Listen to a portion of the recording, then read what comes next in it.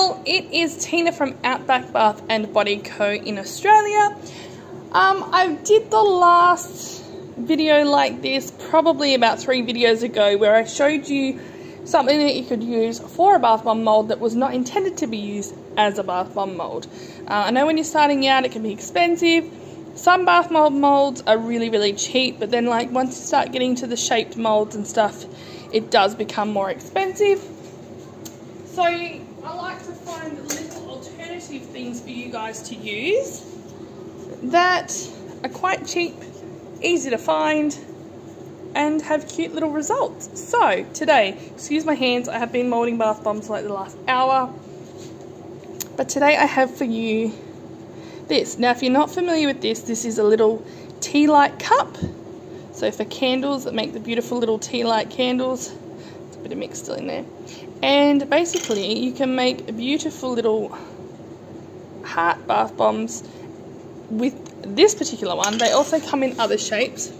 So you've got, this is a butterfly. This actually worked alright. I did like a little tester, tester one with this. Sorry, it's got a bit of bath bomb dust on it. So that's how the butterfly turned out. I did the stars. Didn't like the stars obviously it's for candles, it's not for bath bombs, but the points on this were just too pointy, um, and they just didn't want to come out properly. So stars, you could give it a red hot go, but I don't recommend it, unless you get a more rounded base on that mould. So, I'm going to do a little example for you, now that I've said that you can use it. So obviously, as I've just shown you, mine are little rose petal hearts, so I've just gone some crushed rose petals in the bottom for effect.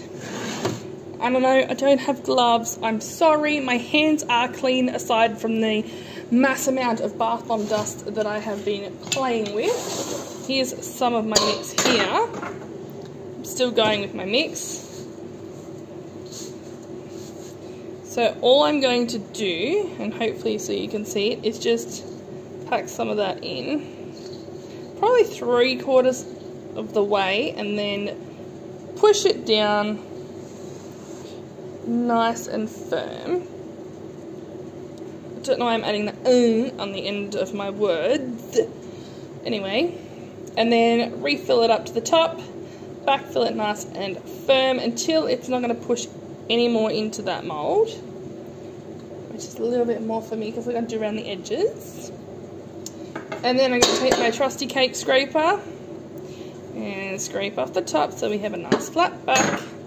Because remember, this is going to be the back of our mould, or the back of our bath bomb, sorry.